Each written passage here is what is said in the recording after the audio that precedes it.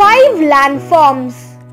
In the solar family, Earth is the third planet.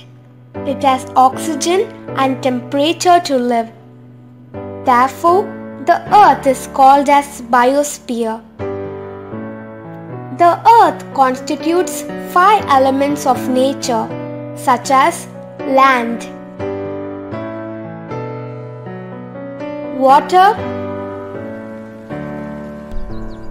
air, fire, and sky. The places we see on the surface of the earth is called landforms. In Tamil Nadu, the land was divided into different types. They are mountain, forest, agricultural land, sea,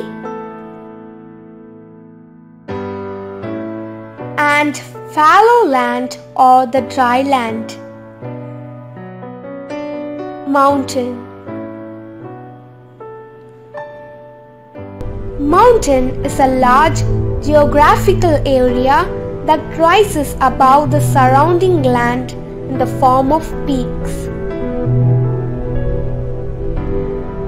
Chief Hill of Tamil Nadu The highest mountain in the Eastern Ghats is Servarayan Hills and the highest mountain in the Western Ghats is Anaimalai Hills.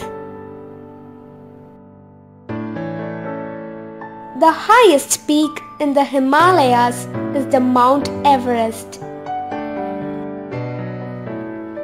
Forest A large area covered by trees is called forest. The forest in Tamil Nadu are Mudumalai Forest in Nilgiris district, Kiriparai Reserve Forest in Kanyakumari district, Shola Forest in Coimbatore district. Pichavaram is a village near Chidambaram in Cuddalore district of Tamil Nadu, which is the second biggest mangrove forest in India.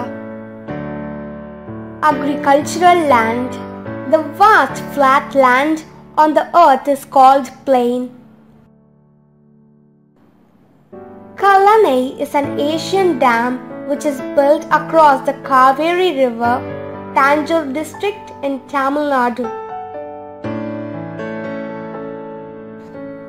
Its length is 1080 feet, width 66 feet, and height 18 feet.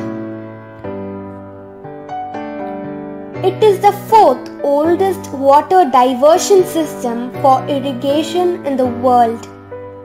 Tanjore is called as the rice bowl of India. Sea, the salty water body that covers a large part of the surface of the earth is called sea. Marina Beach is a natural urban beach in Chennai, Tamil Nadu. It is the second longest urban beach in the world.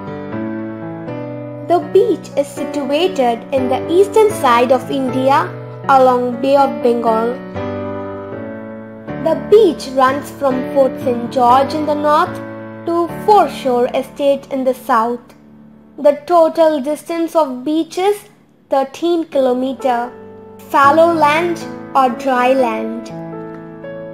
A dry region with less or without rainfall is called as a fallow land or a dry land.